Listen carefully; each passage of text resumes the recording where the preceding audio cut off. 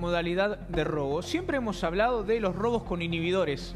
¿Sí? Que directamente vos pensabas que tenías el auto cerrado, venían unos delincuentes y te robaban todo. Bueno, en este caso es al revés. Esta camioneta está en la puerta de una casa. Van a llegar un grupo de delincuentes, ustedes como ven, no la metió adentro de la cochera por seguridad. Hoy estuve hablando con el dueño, estuvimos, esto es, en Carlos Antonio López al 3200 entre el límite de Devoto y Villa Porredón. Las llaves de esta camioneta están adentro de la casa están adentro del domicilio. Quiero ser muy repetitivo con esto para que entiendan. Llega este delincuente con un rastreador de señal, copió, copió la señal de la llave y abrió la camioneta. Paso uno, es decir, desde la calle, desde la vereda, con un aparato, copió la, frecuencia de una llave que estaba colgada a metros para adentro, ¿sí? como hablé con el dueño, me dijo yo la dejé colgada en el llavero, y está dentro de la camioneta, ya está dentro. ¿Qué pasa? Logró abrir la camioneta. Esta camioneta modelo Jeep Compass 2022 no tiene cerradura. Es todo electrónico. Vos para poder encender el motor tenés que apretar un botón. El delincuente no lo puede hacer. Y ahora van a ver lo que pasa. Va a llegar otro delincuente caminando también por la vereda. Eran las 2 de la mañana. No había casi nada de movimiento. Vean, el delincuente sigue, sigue. Sí, como si nada, como si fuera de él el auto. Como si fuera la camioneta de él. ¿Qué pasa? Ya la, logró abrirla pero no logra encenderla. Miren, miren el delincuente, mirá. Con la mano hacia arriba. Sí, sí. ¿Qué tenía en la mano? Un rastreador de señal. Le dio un poco más de señal, apretaron el botón y mira cómo se lleva en la camioneta. Esto es algo muy, muy nuevo que pone en alerta a la policía, a los investigadores. Esto es una nueva modalidad de robo que está haciendo furor en Brasil y ahora ha llegado a la Argentina. Insisto, esta es una camioneta muy nueva. Esta es una camioneta que sí o sí, Marina, esto lo hablé hoy a la mañana con el dueño, con Esteban, me decía, cuando la compré, llegan, me decían, tenía que tener la llave en la mano, estar a dos metros del auto para que abra. Y para que esté en marcha, yo tenía que estar con la llave adentro del auto. Los delincuentes hicieron todo sin nada. Es y como ustedes veían recién... No es solo abrirlo, sino darle marcha. En dos pasos. En dos pasos. te roban, Primero la abrieron. Las claves en dos pasos. Primero la abrieron. ¿Ves cómo llega el delincuente? Ahí ya lograron la apertura de la camioneta. El delincuente tiene el aparato, ¿sí? Esto, insisto, es una nueva modalidad de robo que lamentablemente se está dando en la Argentina. Los delincuentes ya no tienen inhibidores, sino que tienen algo que te chupa la señal de tu llave y permite eso. Miren, la abrió, ingresó. Y ahora, como veían recién, ¿sí?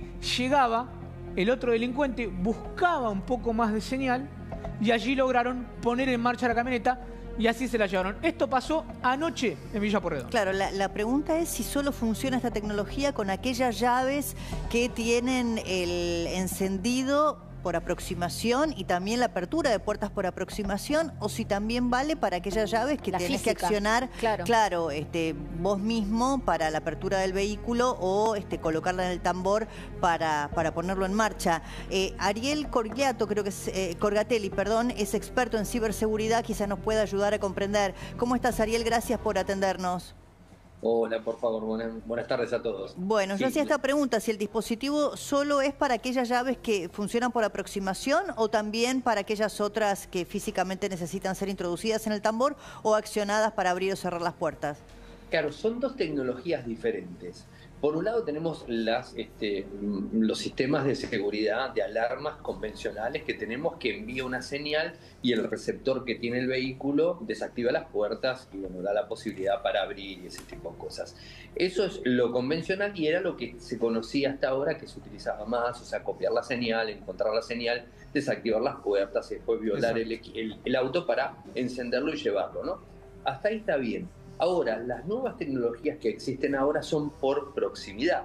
¿Qué quiere decir por proximidad? Yo me tengo que acercar hasta cierta distancia del vehículo y cuando me acerco al vehículo, el vehículo detecta que estoy ahí y automáticamente habilita la opción para encender. O sea, el botón de encendido solamente se habilita cuando yo tengo mi dispositivo, llamémoslo NFC, que no es, pero es un sistema de, digamos, de, contacto no cercano, eh, que tiene una determinada distancia, ¿no? Entonces, cuando yo llego al lugar, automáticamente me habilita para tocar el botón y que inicie el vehículo. Eh, hay que aclarar también que son más que nada vehículos de alta gama, ¿no? No todos los vehículos tienen esto. La gran mayoría prendo, abro las puertas, pongo la llave, le doy arranque. Por lo general, eh, los vehículos son, la gran mayoría son de ese estilo. Lo que pasa que es lógico, los, los delincuentes, ciberdelincuentes, podríamos decir, porque están haciendo uso de tecnología, lo que están haciendo es aprovecharse de una vulnerabilidad que no es vulnerabilidad, pero bueno, de, una opción que la tecnología brinda. Eh, porque, a ver, convengamos que todos podemos llegar a tener, inclusive nosotros de forma legal tenemos un vehículo de esos y podemos haber perdido, eh, digamos, el dispositivo para acercarnos y tenemos que ir a la agencia oficial para que nos brinden una copia. O sea, eso existe.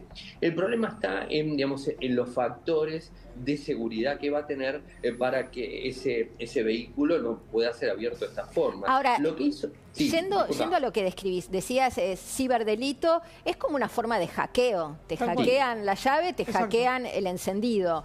La pregunta es si esto es algo muy sofisticado, si es costoso o lamentablemente no, y vamos a ver una proliferación de robo de camionetas de alta gama o vehículos de alta gama con esta modalidad.